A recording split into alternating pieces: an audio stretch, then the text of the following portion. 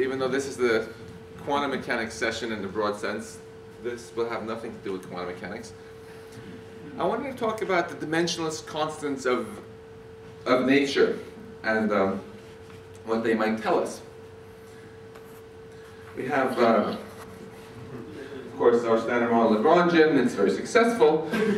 if you have very good eyesight and read the fine print, you'll see there are a lot of dimensionless constants in there. In a recent paper, Anthony and I and Martin Rees and Frank Wilczek counted them up and made this table. You need 26 dimensionless constants to do all the particle physics, and for another five or six more, you can do the universe too, do cosmology. And uh, when you stare at these numbers, there are a couple of very obvious questions, I think, jump to jump at you. First of all, how would you measure them? And we know how to measure most of them. And then why do we have those values? And more generally, you know, what do these numbers actually tell us? We have um, had a fair bit of discussion here informally about what they tell us.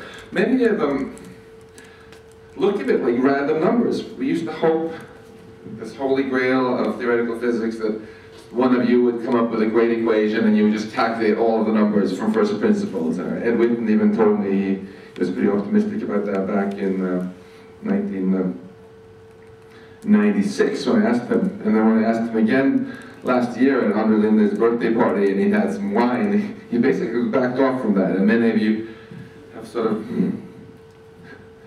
grudgingly perhaps conceded that maybe we won't be able to calculate them all, but maybe we can at least reduce the number of parameters or find some more relations between them. That would be great.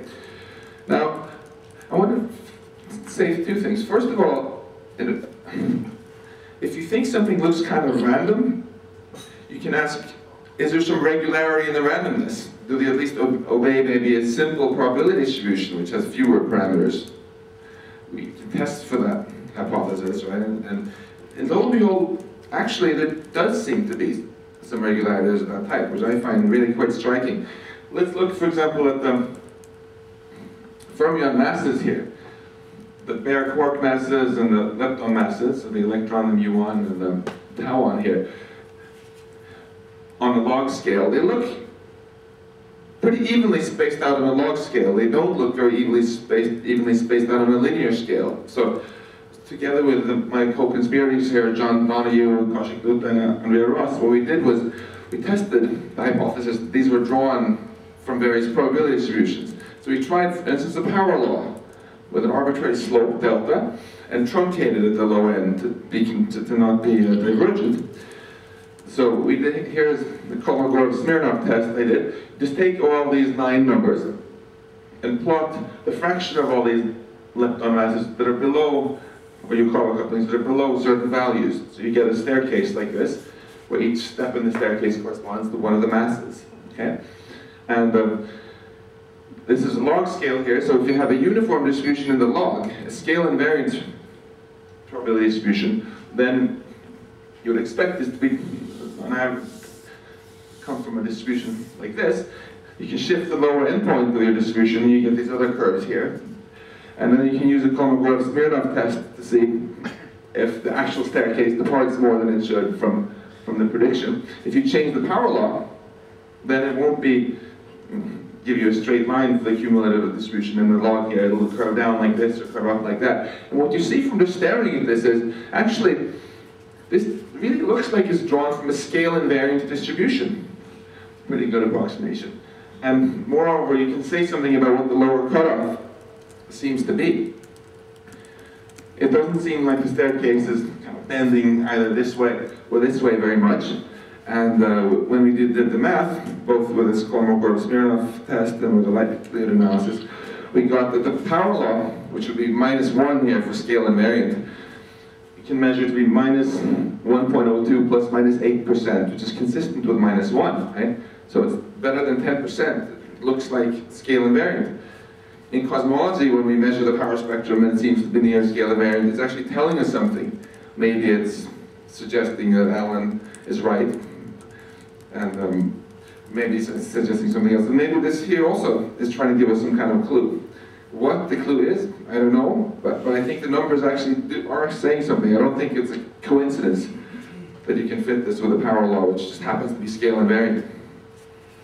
The lower cutoff can't be absolutely anything. It, um, 10 to minus 7 or so is what the numbers tend to prefer for the, for the lower cutoff.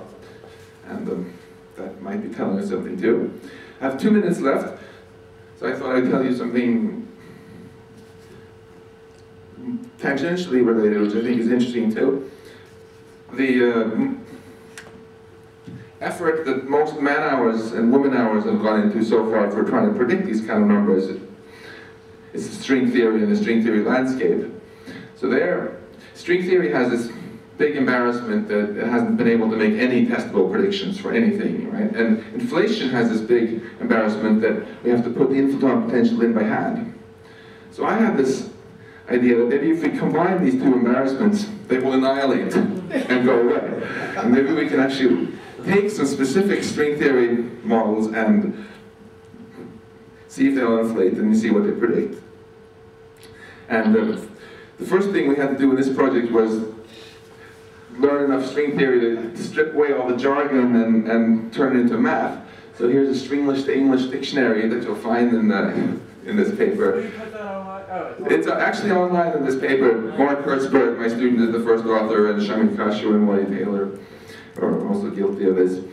And once we had converted, stripped off all the string jargon, you know, all you get are these functions, which are inflaton potentials. This is for a type 2A model, which, um, never mind what all these symbols mean, it's just, a, it's just a function of 14 variables. You can plot these, these are inflaton potentials. My idea was that uh, even though it's known to be hard to inflate in string theory, if you have 10 to the 500 chances to roll the dice, or even infinitely many, as in this case, once in a while you get lucky, right? So my idea was we would numerically search for, for potentials which inflated, and then we would see what they predicted for constants of nature.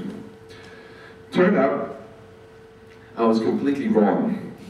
We tried and tried and tried, and we couldn't find anything that inflated at all in this broad class. And then finally, we were able to prove this no-go theorem, which said that basically the entire class of models we were looking at, which is the best understood class of type 2 string theories, eh, failed to inflate.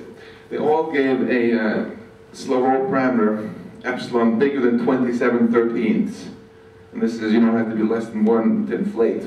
Doesn't matter what you put in for your for what Calabi Yau manifold you use, or what NSNS3 form fluxes you throw in, or what Ramond-Ramond flux, uh, the D6 branes, it didn't help.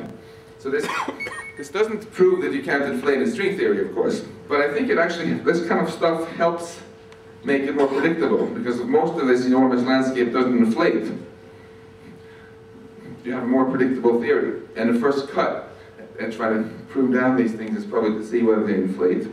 And before we criticize string theorists for predicting too many explanations for what we see, we should remember that the number of explanations so far that give inflation and fit these standard model parameters is still zero, still less than one. So still hope for some predictability. Thanks.